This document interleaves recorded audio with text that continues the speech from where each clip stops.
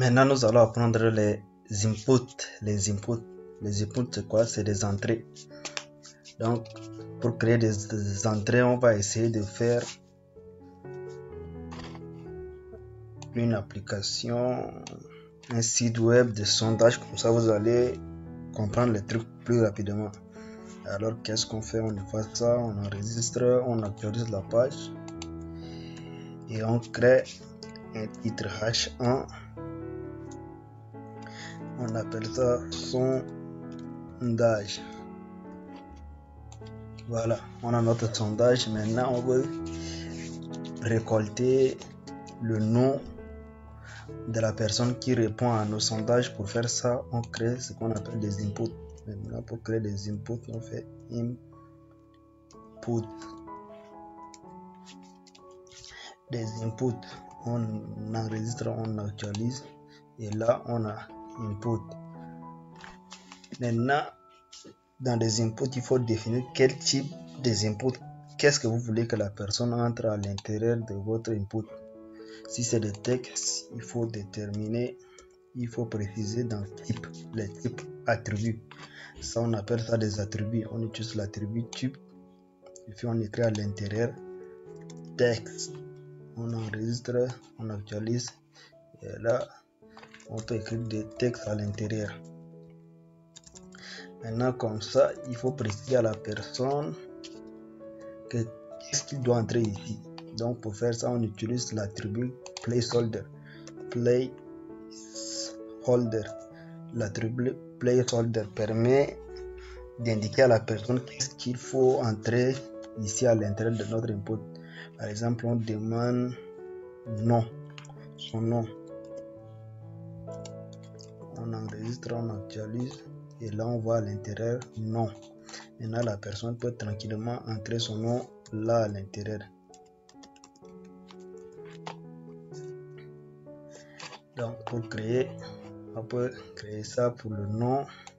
On peut aussi créer pour l'âge et pour le mot de passe, pour le nom d'utilisateur pour le nom d'utilisateur, pour les prénoms séparés, on utilise type texte. Mais si pour le mot de passe, on utilise input de type password.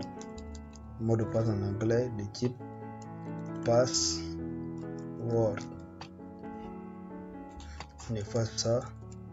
Et puis on écrit à l'intérieur de notre placeholder pour préciser, pour montrer à la personne qu'est-ce qu'il faut entrer. On écrit mot de passe on enregistre la page on actualise et on a un deuxième input avec mot de passe à l'intérieur. Et qu'est-ce qui se passe lorsqu'on écrit? C'est des petits points qui sortent. Ça c'est dû à type ici password. Par exemple si on efface on écrit texte à la place on enregistre on actualise écrit mot de passe. Quand on écrit on voit votre mot de passe. Pour ça il faut écrire de type password. Password, mot de passe en anglais, on actualise et maintenant quand on écrit, c'est des points qui sortent. Maintenant on a notre nom, notre mot de passe. On peut créer pour les dates. Pour les dates, on utilise input de type date. Il faut enlever ça, on efface ça. On enregistre notre page, on actualise et là on a notre input de type date date donc là on peut écrire notre date de naissance ou date d'aujourd'hui. On peut tout faire.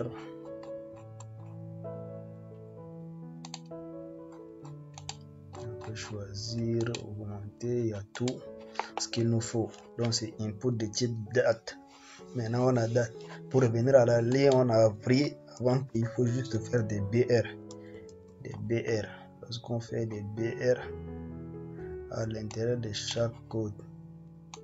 Ça nous permet de, re, de revenir à la ligne. On, a, on enregistre on actualise et là vous voyez il y a BR et par exemple si on fait deux BR ça permet de décaler d'une ligne.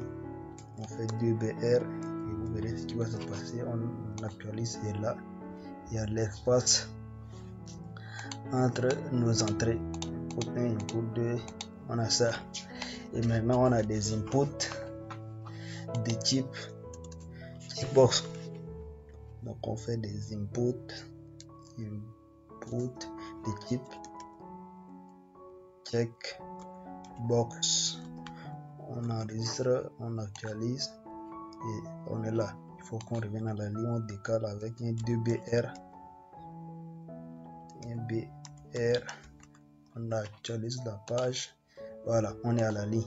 Et on a un input de type checkbox. Par exemple, on crée devant un label.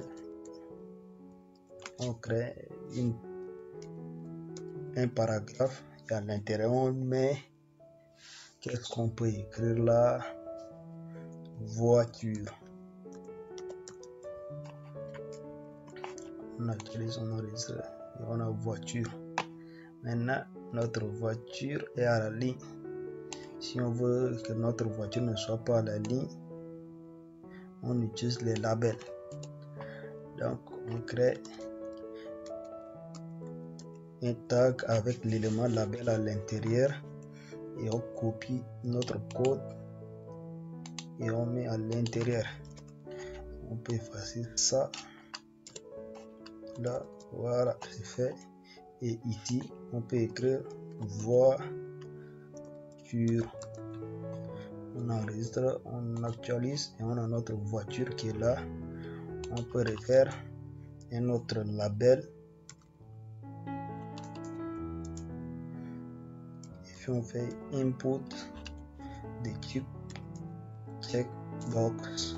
Et là on met avion on enregistre on actualise on a ça on peut faire un BR pour ramener l'avion à la ligne on actualise et notre avion est à la ligne on peut créer deuxième un troisième label donc on crée troisième label avec input check box aussi à l'intérieur et on appelle ça vélo. On enregistre on actualise on fait un BR là pour ramener notre vélo à la ligne. Voilà. Et maintenant dans le sondage on te demande d'entrer ton nom mot de passe date de naissance et si vous montez une voiture vous avez une voiture un avion ou un vélo si vous avez voiture vous sélectionnez voiture. Si vous avez voiture vélo vous pouvez sélectionner les deux. C'est ça. Et on, on, a des inputs de type radio. Qu'est-ce que les inputs de type radio nous permettent de faire? Ça nous ils nous permettent de sélectionner l'un l'autre. Et pour faire ça on vient là on vient à la ligne. Là et puis on crée des labels labels on crée à l'intérieur des inputs de type radio. Et on écrit là femme. On enregistre on actualise on fait un BR là pour ramener femme à la ligne. On, on enregistre on actualise on a femme à la ligne on fait double on fait notre BR pour bien décaler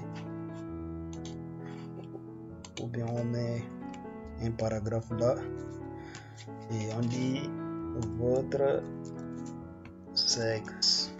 On enregistre. Voilà votre sexe c'est vous de sélectionner.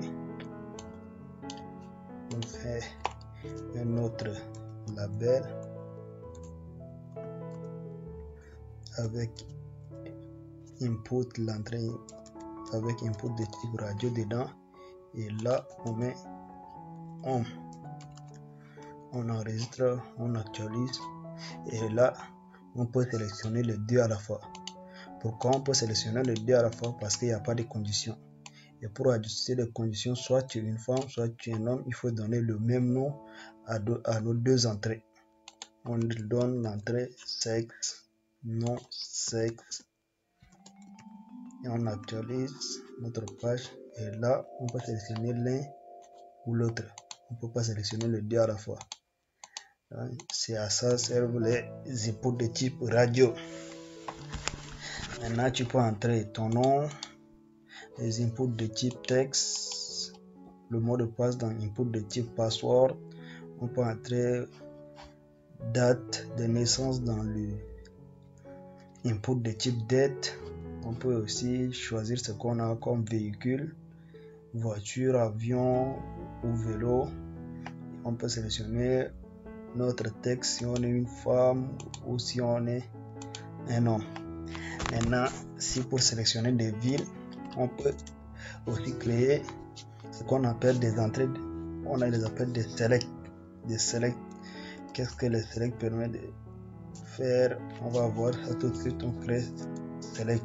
Et à l'intérieur de select, il faut créer des options. Et on peut créer options.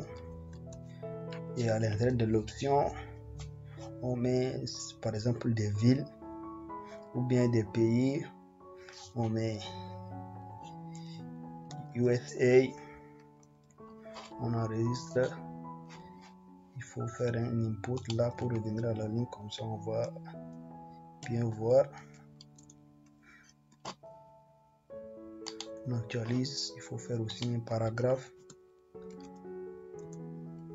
Votre pays. Enregistrer voilà votre pays et là à l'intérieur. On peut faire beaucoup des options. On peut aussi faire option avec Canada. On peut faire option avec France on enregistre et on actualise notre page. Et lorsqu'on clique sur notre bouton là et vous voyez il y a USA il y a USA il y a Canada il y a France et on peut sélectionner notre pays. Maintenant nous savons comment créer des inputs de type texte de type password de type date de type checkbox de type radio et de select avec des options à l'intérieur. On peut aussi créer des inputs de type submit des inputs de type submit c'est des boutons submit et on enregistre on actualise. Et là on a bouton envoyer. Qu'on fasse un BR à la fin de select pour ramener notre bouton à la ligne. Clic un double BR ça va être mieux ça va le faire décaler. Et là on a notre bouton envoyer.